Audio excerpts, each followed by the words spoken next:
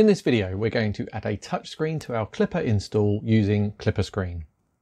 This series is sponsored by PCBWay. If you've been following along with all of the other videos in my Klipper series, then you're going to have a pretty easy time setting this up. If not, then I've still got you covered, but there may be a few more things you've got to do. As I said, this is part of a series of videos, and I'm going to assume that you already have a working Klipper installation. We're not going to be covering any of the other setup stages other than adding a touchscreen as everything else has been covered in other videos. Check out the links in the description below if you need any other Klipper setup help. The first thing to do is to turn off your Raspberry Pi or whatever you have Klipper installed on and attach your screen.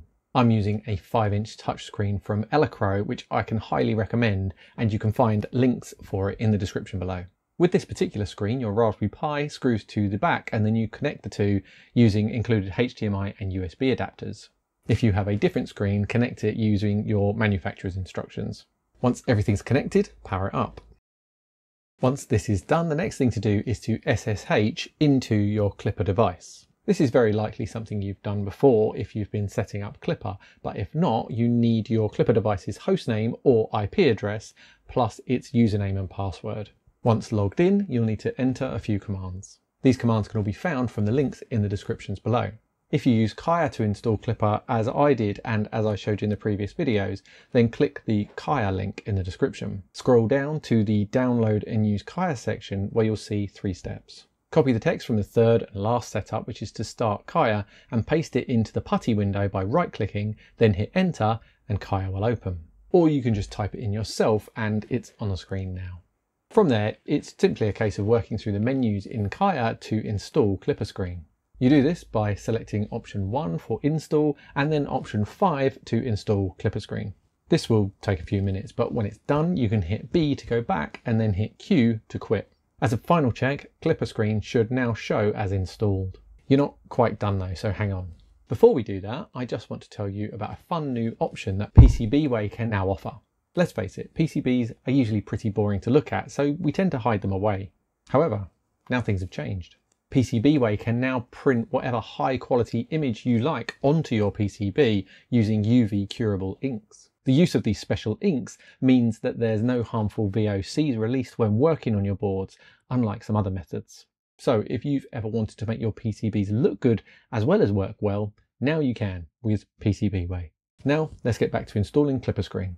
If you didn't use KIAUH to install Klipper, then at the SSH command prompt when you first log in with PuTTY, copy and paste the command you'll find from the installation link in the description. Scroll down to the manual install section and copy and paste the text in the first box to clone the Klipper Screen repository and run the installation script. This will install Klipper Screen.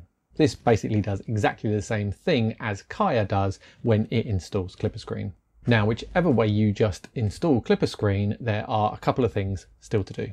From the Klipper Screen installation page linked in the description, scroll to the Moonraker configuration section. There are two blocks of text that need copying into your Moonraker config file, which you can access through either Fluidd or Mainsail with a web browser. With your Moonraker config file open, find the Authorization and Trusted Clients section and add in the address of 127.0.0 1. If you don't have an authorization section, then copy all of the text and paste it into that config file. Then to keep Klipper Screen up to date, copy and paste in the whole second section on a new line and then save and restart. Once everything is back up and running, open your printer config file and copy and paste in the last block of text under the printer configuration heading on the same web page. Save and restart and you should now be done with the Klipper Screen setup and everything should be fully working on your touchscreen. If you have any issues with your screen or it's not working how you expected, then check out some of the other sections on that Klipper Screen web page. For instance, you can rotate the display if you want to mount your screen the other way up, and you can change the way it displays certain information. You're now nearly done with your Klipper installation. Click up here to see how to fix any errors you might now have, or if you don't have any errors, click down here to go to the next video in the series where I show you how to check everything's working properly before you start your first print. Thanks for watching, and I'll see you in the next one.